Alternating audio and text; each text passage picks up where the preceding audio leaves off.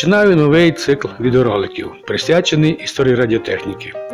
Планую розповісти про самі революційні етапи розвитку радіо, про самі видатні винаходи, про самих видатних інженерів-винахідників, про самих успішних виробників радіотехніки і про самі легендарні моделі радіоприймачів, які залишили свій слід в історії радіо.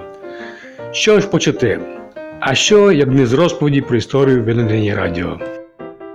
Стара китайська мудрість гласить можна вічно дивитися на те, як тече вода, як горить вогонь. І не претендуючи на оригінальність, можна додати і сперечатися на тему, хто винайшов радіо Попов чи Марконі. Чи може Нікола Тесла? Або чому не Герц? Всі вони були причетними до самого геніального винаходу останніх 150 років. Отож, треба сказати, що перші 20 років радіо використовувалося виключно для радіозв'язку між окремими суб'єктами виключно в телеграфному режимі і майже виключно військовими. Звісно, якщо не рахувати окремих одиноких ентузіастів, радіоматорів, інженерів та експериментаторів. Але я свою розповідь почну з огляду типів радіоприймачів і їхньої якості, які вже були відомі в момент закінчення Першої світової війни. Ще ж собою представляли перші радіоприймачі Попова Марконі Герца.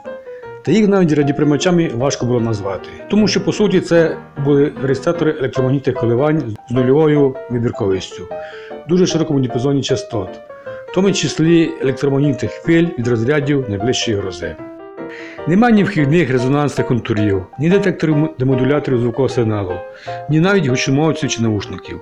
Є тільки самого примітивного типу механічний детектор КГРР і увага дзвіночок. Все, на що вони були здатні, так це заприймати одинокий сигнал, як радіо Попова, або серію сигналів, як Марконі, від примітивних іскрових радіостанцій в телеграфному режимі і стилізувати при їх надходження дзвіночком від стаціонарного телефону замість гучномовця.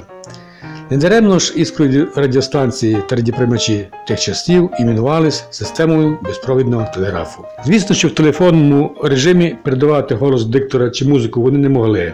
Але це не зупиняло одиноких геніальних інженерів-винахідників, які в наступні 20 років винайшли і реалізували всі відомі нам зараз типи радіоприймачів та передатчиків. А що ж собою представляли передавачі початку ХХ століття? На самому початку Першої світової війни переважна більшість з них була іскровими. А отже, могли застосуватися тільки в телеграфному режимі і майже виключно державними службами пошти, зв'язку і військовими та в дуже рідкісних випадках одинокими ентузіастами радіо. У 1903 році датський інженер Вольдемар Паульсен винайшов дуговий передавач, який був по суті різновидом іскрового передача. Але замість іскрового розряду дуговий передавач вже використовував серію розрядів, які створювали електричну дугу. Це був один з перших типів передавачів, який міг генерувати безперервні суїцидальні е, сигнали а не затухаючи, як в іскрових передавачах. Проте майже в той самий час, у 1902 році, канадець Джелан Фесенден патентує і зовсім інший тип радіопередавача машинний генератор-альтернатор. За допомогою останнього він зумів обігнати Марконі і першим у світі у 1906 році добити стійкого двостороннього зв'язку між США та Великою Британією. Це був рекорд на той час. Але самим важливим для нас був його головний патент під назвою Апарат для передачі сигналів за допомогою електромагнітних хвиль, який, по суті, являв собою перший у світі передавач звукових сигналів міг передавати голос та музику. Цю свою ідею Фесенден зміг реалізувати також у 1906 році і організував декілька публічних сеансів передачі музики на відстані декілька десятків миль.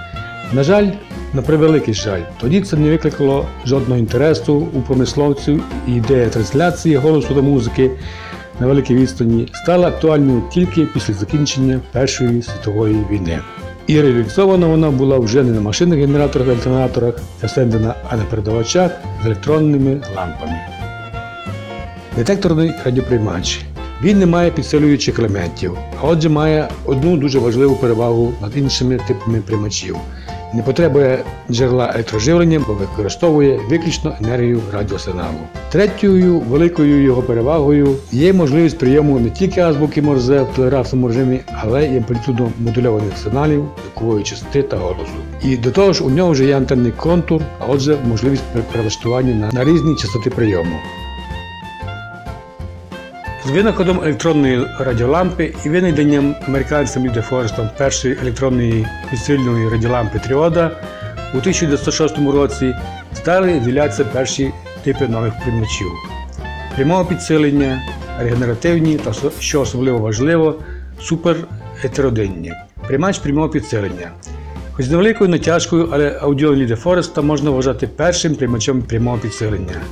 Хоч дуже слабо, але все ж таки його приймач підсилював сигнал перед декодуванням.